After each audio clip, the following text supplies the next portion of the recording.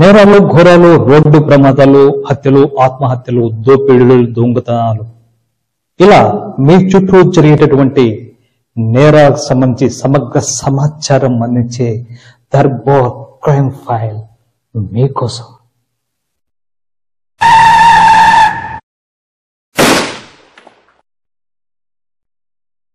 వివరాలకు వెళ్తే ఎవరికైనా సరే జీవితంలో సంతోషంగా ఉండాలని ఉంటుంది. మరి సంతోషం కోసం ఏదైనా చేయడానికి మనిషి సిద్ధమవుతాడు. ఎందుకంటే మనిషి కోరికలు అనంతం. ఈ అనంతమైన కోరికలను తీర్చడం మానవుడికి సాధ్యం కానే కాదు. ఎందుకంటే ఒక కోరిక తీరిన తర్వాత మరో కోరిక పుట్టుకు వస్తూనే ఉంటుంది.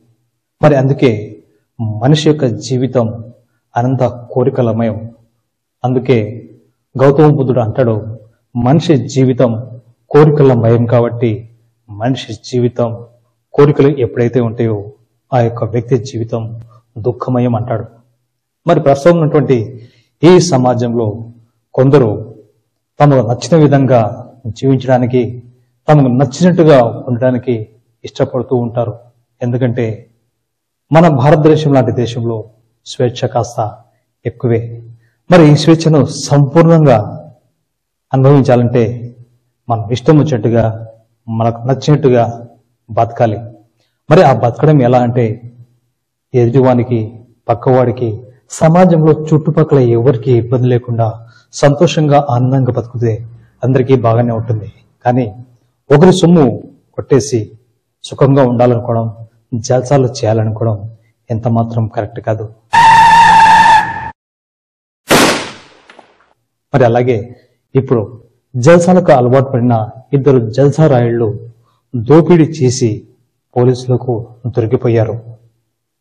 ఎంత కాదనుకున్నా తాము తప్పించుకునే ప్రయత్నం చేసినా పోలీసులు ఒక్కసారి నిఘా పెట్టారంటే ఏ దొంగైనా ఏ హంతకుడైనా ఏ నేరం చేసిన వారైనా సరే తప్పించుకోలేరన్నది మరోసారి నిరూపణ అయింది.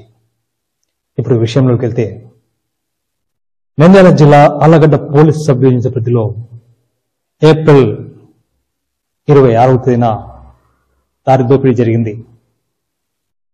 చాగలగుంట మండలం పెద్దబోధం గ్రామానికి చెందిన వెంకట సుబ్బారెడ్డి అనే వ్యక్తి ఆలగడ్డ పట్టణంలోని యూనియన్ బ్యాంక్ నుంచి దాదాపుగా నాలుగు లక్షల ఎనభై వేల రూపాయలను డ్రా చేసి ఇంటికి తీసుకువెళ్ళాడు. మరి ఈ ప్రయత్నంలో చాగల్మారి పోలీస్ స్టేషన్ పరిధిలోని చిన్న బోధన వద్ద ఉన్నటువంటి సర్వీస్ రోడ్డు వద్ద వెంకట సుబ్బారెడ్డి బైక్ పై వెళ్తుండగా ఇద్దరు వ్యక్తులు అటకాయించారు.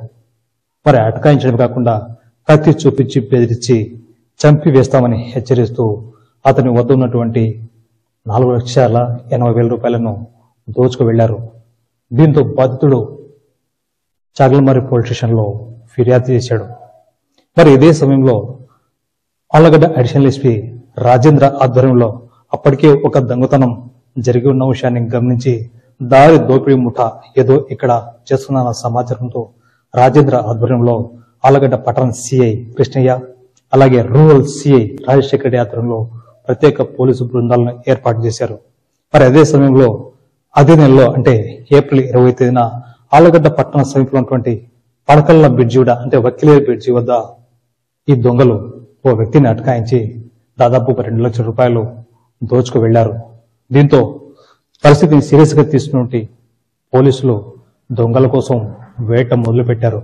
అయితే పోలీసుల నిఘా ముందు ఏ దొంగైనా తప్పించుకోవడం అసాధ్యమని నిరూపించారు అల్లగడ్డ పోలీసులు.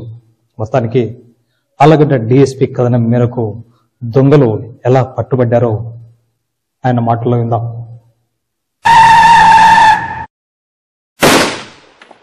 నాలుగు రెండు వేల ఇరవై రెండు మన పెద్దబోధానం గ్రామానికి సమీపంగా ఈ వంగల వెంకట సుబ్బారెడ్డి అనే అతను అరవై రెండు సంవత్సరాలు.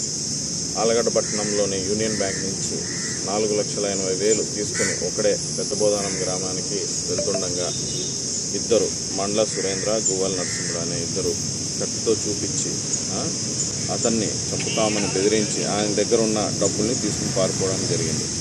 దాని గురించి క్రైమ్ నంబర్ డెబ్బై నాలుగు బార్ రెండు వేల ఇరవై రెండు కింద రాబరీ కేసు కట్టడం జరిగింది చాయల్మరి కేసులో ఇది ఈ కేసుని విచారించగా ఇన్వెస్టిగేషన్లో మనకి ఈ ఇద్దరు ముద్దాయిలు దొరికినారు. వీళ్ళని విచారిస్తే వీళ్ళు అలాగే క్రైమ్ నంబర్ డెబ్బై మూడు బార్ రెండు వేల ఇరవై రెండు ఆలగడ్డ యూపీఎస్లో జరిగిన ఒక దొంగతనం కేసులో కూడా వీరు ముద్దాయిలని నేరం ఒప్పుకోవడం జరిగింది. దీనికి సంబంధించి ఆ కేసులో రెండు లక్షల రూపాయల వరకు దొంగతనం జరిగింది. మొత్తం దీన్ని విచారణలో అలాగే రికవరీలో భాగంగా మొత్తం ఆరు లక్షల ఎనభై వేలు అమౌంట్ వీళ్ళ నుంచి రికవర్ చేయడం జరిగింది. ముఖ్యంగా ఈ కేసులో డిటెక్షన్లో పాల్గొన్న సిఏ అల్లగడ్డ రూరల్ అలాగే R Rajasekhar Reddy SI Allagadda rural Narasimha town CI and మిగతా సిబ్బంది మురారి షకీరు వాసు వెంకటేశ్వర్లు హోంగార్డ్ చంద్రబాబు అందరూ కష్టపడి ఈ కేసు డిటెక్ట్ చేసినారు. ముఖ్యంగా చూసుకుంటే ఇందులో ఈ సురేంద్ర అనే అతను ఆల్రెడీ నంద్యాలలో మర్డర్ కేసులో కూడా ముద్దాయి. ఇతని మీద పలు కేసులు కూడా ఉన్నాయి. వీళ్ళంతా ఈ బ్యాంక్ దగ్గరికి వచ్చిన లోన్లీగా వచ్చే కస్టమర్స్ ఎవరైనా డ్రా చేసుకొని వీక్గా ఉన్న వాళ్ళని ఫాలో అయ్యి వీళ్ళు ఇలా చేస్తున్నట్టు సమాచారం అందరికీ బ్యాంక్ వెళ్ళే వాళ్ళందరికీ ఒక సూచన ఏమంటే కొద్దిగా జాగ్రత్తలు పాటించి తగు చర్యలు తీసుకుంటే మేము అలాగే బ్యాంక్ మేనేజర్ని కూడా అలర్ట్ చేస్తున్నాం. సో ఈ మొత్తం వర్క్ని తొందరగా విత్ ఫిఫ్టీన్ డేస్లో డిటెక్ట్ చేసిన సిబ్బందిని అందరికీ రివార్డ్ రోల్ కూడా ఆన్ రికార్డ్స్ పంపిస్తాం. థ్యాంక్ యూ చూస్తూనే ఉండండి దర్బార్ టీవీ సబ్స్క్రైబ్ చేయండి షేర్ చేయండి లైక్ చేయండి. మీ చుట్టుపక్కల జరుగుతున్న సమాచారం మాకు తెలియజేయండి. మేము ప్రసారం చేస్తాం. మర్చిపోకండి దర్బార్ టీవీని సబ్స్క్రైబ్ చేసుకోండి. Thank you